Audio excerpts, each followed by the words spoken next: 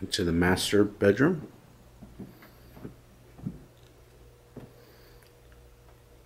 Doors that go out to the back porch.